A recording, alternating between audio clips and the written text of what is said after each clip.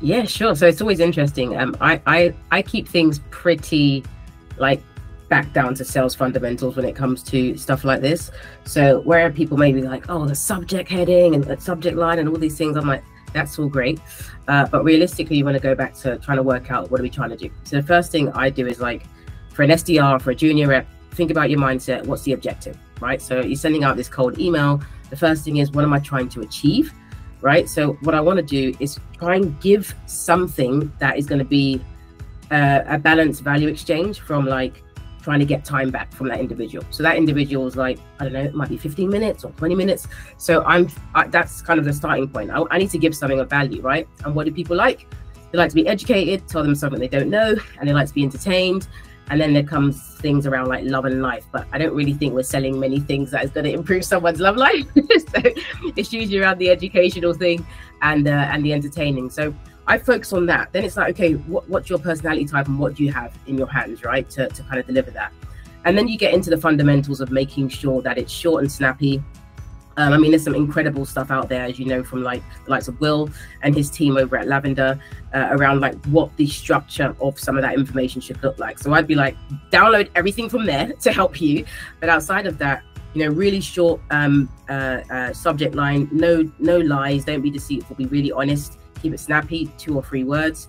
In the context, one thing that I like to do is try to position the cold email like it's something that's going to be internal. So um, it's got a reference point if you found information um, on their website, or one thing I love to do is go and check job descriptions, right? So if you check a job description and you'll find out like what's the top types of things they're looking for re regarding like um, top of mind programs or initiatives, because they'll say, hey, we're hiring for this person for this particular project or technology.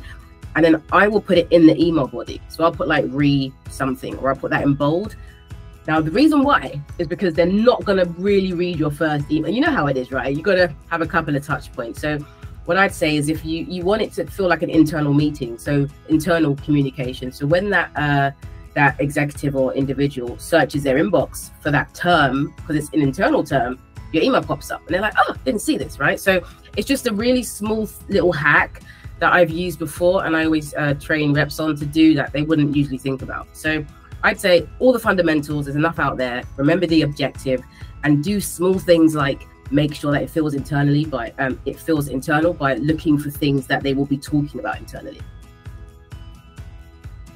Best practices for prospecting on LinkedIn is do not prospect on LinkedIn. I know it sounds counter counterintuitive, but hear me out. Link nobody wants to be sold to on LinkedIn. And it's like everyone's they're expecting it. So just don't do it. Like literally don't do it. So I always say when you are connect with everybody all the time. That's the first thing. Max out your connections, but connect with people who you feel uh, can can answer two questions for you. One, you will learn from them at some point, even now or in the future. Or two, you can offer them something, something of value again, right? So, um, and of course, the, the last part is usually um, people that you can at some point may be a good fit for your products or services. So I, that's the first thing. Now, just not connecting and pitching is a pattern interrupt. So immediately they're like, they're waiting. They're like, okay, this person's going to pitch to me. And you're like, just saying hi. And they're like, what? What's going on here? Right. So I always say, do that just so you immediately set yourself um, aside from all of the other reps who are not doing that. The next thing is um, is nurturing your network list. So everybody you connected with, you might have sent out 100 um, connection requests, you get like 30 accepted. Make a habit on a Friday of sending a video message to them. Now, there's a lot of incredible tools to help do that with the tracking, but LinkedIn's native one is always going to get the best results because no one, it, you don't leave the app. So if you send a video that's just like, hey, Thank you so much, Rita, for connecting with me. Pleasure to have you in my network. Who knows what could happen? Literally, just that, that's it, right? Again, they're expecting you to pitch. You haven't. But if you nurture those connections, um, I'm sure it's feeding the algorithm in some way. If they've opened it, they've watched it, so all of those things, right? But if you get into the habit of doing that, one, you increase your video confidence. Two, you get a bit closer and you stand out above the other reps. And three, it's good for you because maybe they may be like, oh, let me just check your profile on your website and mix that. Oh, I quite like this. I, I like what you guys are doing. So it's not pitching or prospecting, it's just nurturing and building a community. Um, the other thing I will say is is generally do try and figure out like every time your marketing team or you're learning stuff, share it with the people that you're connecting with. Just just share it with them. Just say, hey, I, I saw this and like look at your site and connected the dots. And that's it. Don't expect anything back. So i always just say don't prospect on linkedin but just try and nurture your connections. And off the and the offset of that is people will come to you because they're used to you posting stuff. Okay so uh so how do I stay up to date? Well, I usually lead or hire SDRs, so I'm speaking to a lot of them, and I learn a ton from actually speaking to SDRs because they're right in the trenches. So you can read a million blogs, but you speak to an SDR, they'll tell you exactly what's happening. Like it's really hard, or it's really great, or that doesn't work. So I do that a lot. So I, I am connected to a ton of them. They often ask me questions, but I'll I'm learning from them. Like, what are you doing? What's happening? Um, the other thing I do is I, I try to I try to narrow down who I'm listening to. So there's a ton of people on LinkedIn in these spaces that you can um, that you can learn from. Just find three or four people around specifically around you know SDR trends, SDR leaders who are trying to approach the problem in, or approach the role in different ways. So you may say, hey, if I'm thinking about creating the best emails and staying up to date with the trends, I'm going to follow Will. If I want to understand, like, how do I really have a uh, go from that cold email to that cold call, I might go after Josh Braun. Uh, and then I'm th- so you try and like carve out those people for each part of your your outbound. But that's that's what I'd say. That's the best way to um, kind of keep up to date with stuff.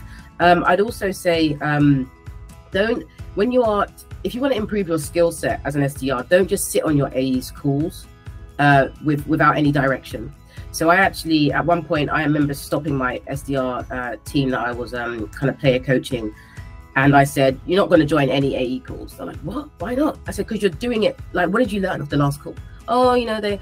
I'm like, you have to be really directional. So I'd say, go in and say, today I'm going to listen to AE calls because I want to hear how they structure price. That's it. Just and focus in on that. Everything that's tied to that, because then you can um, focus on building a, on a skill set.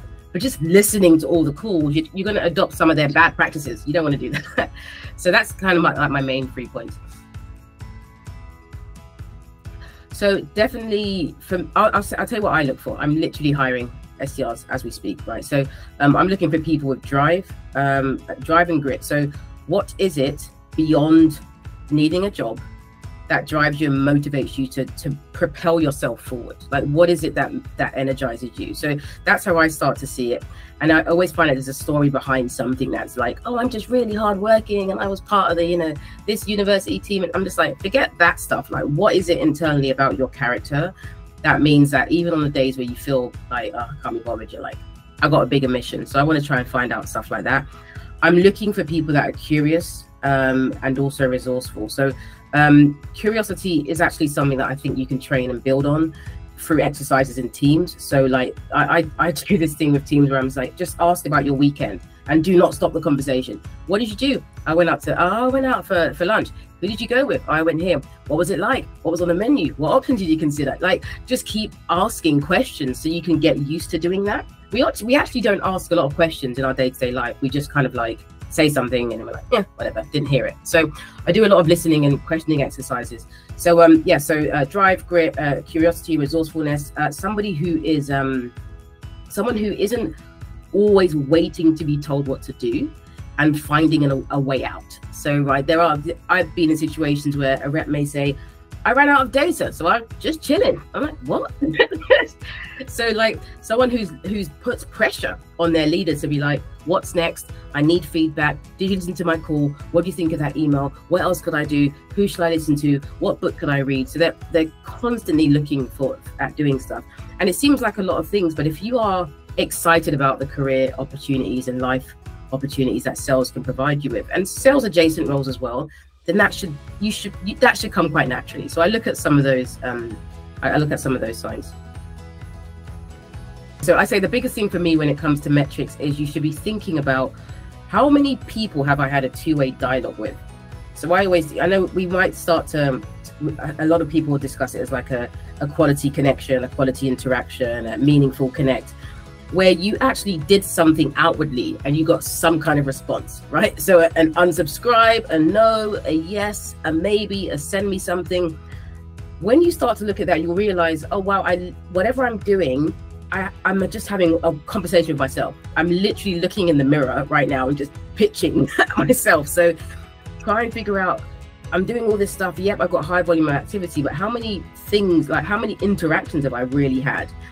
Because I think the rest is vanity. Um, and if you carefully construct stuff, you'll find when you get really creative and you find different ways to, to kind of increase your response rates, you can do half of the amount of activity that's expected of you and get a higher result just because you're working smarter. Um, I was that person. I broke the rules all the time.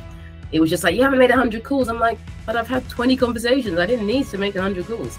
right. So I always say your leader does not care if you made 200 calls or free if you book a meeting. They don't care, but they need to know that you're doing the work. Right. So that's why that's why we have these um, leading indicators and these um, other activity metrics. So things that keep me motivated, I will always do an at-home workout. I probably work out five times a week, five to six times a week. So that's like how I start my day most days. I didn't work out today, and I feel like I should have worked out today. um, I was really sluggish, and I was like, I should have worked out today. Um, but I also listen to. Um, there's this. It's funny. I, I, had this as like my stage song when I was doing a, a, a keynote not too long ago. But uh, Bruno Mars finesse with Cardi B. That's like my. If that comes on, I'm like, yeah, let's go. I'm ready. I'm ready. Like I'm ready to I'm ready to pump it up. I'm like, you might have to put on the clean version, uh, but yeah, I, that will always get me like, all right, I'm ready to rock and roll. Let me get organized. Yeah, that's my tune.